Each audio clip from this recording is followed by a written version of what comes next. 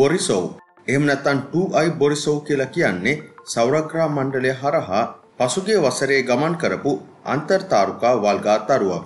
බොරිසව් කියන්නේ මේ මුලින්ම නිරීක්ෂණය කරපු විද්‍යාඥයාගේ නම. 2i වලින් අදහස් වෙන්නේ දෙවන අන්තර්තාරුකා එහෙම නැත්නම් ඉන්ටර්ස්ටෙලර් කියන දෙය. මෙම වල්ගාතරුව පිළිබඳව වැදගත්කම වන්නේ එය නිර්මාණය වෙලා තියෙන්නේ අපගේ සෞරග්‍රහ මණ්ඩලය තුල නොවීම. එය සෑදුන ස්ථානය ගැන අපට පැහැදිලි අදහසක් නොමැති වූවත් මෙම වල්ගාතරුව අනිවාර්යයෙන්ම පැමිණියේ සෞරග්‍රහ මණ්ඩලයට පිටතින් බව ඒ කක්ෂය අධ්‍යයනය කිරීමෙන් ප්‍රකාශ කරන්න පුළුවන්.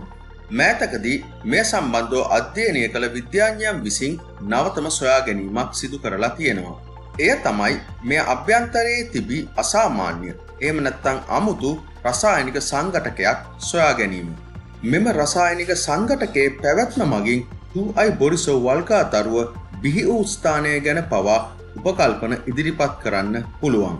විද්‍යාඥයන් විසින් මේ ආකාරයට සොයාගත් අසාමාන්‍ය රසායනික සංයෝගය තමයි කාබන් මොනොක්සයිඩ්. කාබන් මොනොක්සයිඩ් සෑදිල තියෙන්නේ කාබන් පරමාණුවක් සහ එක ඔක්සිජන් පරමාණුවක් එකතුවීමෙන්. අපි සාමාන්‍යයෙන් හොඳින් දන්නා කාබන් ඩයොක්සයිඩ් සෑදිල තියෙන්නේ එක කාබන් පරමාණුවක් සහ ඔක්සිජන් පරමාණු දෙකක් එකතුවීමෙන්. මෙලෙස බොරිසෝව් වල්ගාතරුව තුළ කාබන් මොනොක්සයිඩ් සොයා ගැනීමේ අසාමාන්‍යතාවය වන්නේ මෙතෙක් කාලයකට සූර්යා අසලින් ගමන් කළ සෞරග්‍රහ මණ්ඩලය තුළ බී වූ වල්ගාතරුවකින් මෙපමණ කාබන් මොනොක්සයිඩ් ප්‍රමාණයක් නිරීක්ෂණය කර නොතිබීම.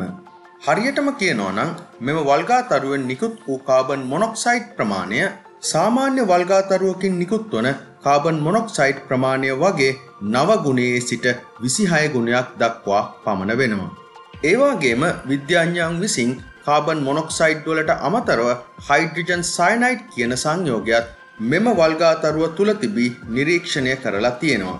නමුත් මේ ආකාරයට නිරීක්ෂණය කළ හයිඩ්‍රජන් සයිනයිට් ප්‍රමාණය සාමාන්‍යයෙන් සෞරග්‍රහ මණ්ඩලය තුළ ඇති වල්ගාතරුවකින් නිකුත්වන හයිඩ්‍රජන් සයිනයිට් ප්‍රමාණයට සමානයි. ඒක නිසා එය එතරම් වැදගත් සොයා ගැනීමක් නොවනත් කාබන් මොනොක්සයිඩ් විශාල ප්‍රමාණයක් සොයා ගැනීම මගින් මෙම වල්ගාතරුව බිහි වූ ස්ථානය ගැන අදහසක් ලබා ගන්න පුළුවන්.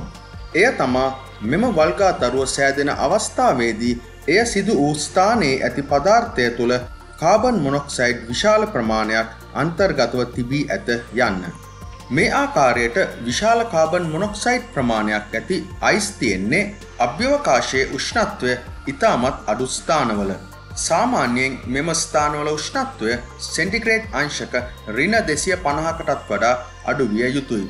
ඒක නිසා මෙයින් පෙනියන්නේ 2i බොරිසොව් වල්ගාතරුව බිහිවෙලා තියෙන්නේ වෙනත් ග්‍රහපද්ධතියක උෂ්ණත්වය ඉතාමත් අඩු පිටත ප්‍රදේශයක් එම නැත්තං අවුට රීජන් එකක කියලා. සාමාන්‍යයෙන් සෞරග්‍රහ මණ්ඩලය තුළ ඇති වල්ගාතරු බිහිවන්නේ මීට වඩා උෂ්ණත්වය වැඩි සූර්යාට ආසන්න ස්ථානයන් වල. මෙයින් පෙනී යන තවත් දෙයක් වන්නේ බොරිසොව් වල්ගාතරුව බිහිවුණ ග්‍රහපද්ධතිය අපගේ සෞරග්‍රහ මණ්ඩලයට වඩා වෙනස් විය යුතු බවයි. අවසාන වශයෙන් බොරිසොව් වල්ගාතරුව එය අයත්ව තිබූ ග්‍රහපද්ධතියෙන් ඉවත් වූ ආකාරය ගැන ඇති උපකල්පනය වන්නේ එම ග්‍රහපද්ධතිය අසලින් ගමන් කළ තවත් තරුවක හෝ එම ග්‍රහපද්ධතිය තුළ ඇති වෙනත් විශාල ග්‍රහලොවක ගුරුත්වාකර්ශණ බලය නිසා මෙම වල්ගාතරුව එම ග්‍රහපද්ධතියෙන් ගැලවී ගොස් ඇති බවය. මේ ආකාරයට තමාගේ ග්‍රහපද්ධතියෙන් ඉවත් වූ බොරිසෝ වල්ගාතරුව ඉතා විශාල දුරක් අභ්‍යකාශය ගමන් කර අපගේ සෞරග්‍රහමණ්ඩලය හරහාද පසුගිය වසරේ ගමන් කළා. මෙය ගැන තවදුරටත් අධ්‍යයනය කිරීමෙන් සෞරග්‍රහ මණ්ඩලයට පිටතින් ඇති අනෙකුත් ග්‍රහපද්ධතින් සෑදී ඇති ආකාරය සහ ඒවායේ සංයුතීන් ගැන තවත් වැදගත්දේ දැනගැනීමට හැකිවේවී. විශ්වය ගැන මේ වගේ නවතම කරුණු දැන ගැනීමට අභ්‍යකාශ විද්‍යාව චැනල් එක දැන්ම සබස්ක්‍රයිබ් කරන්න.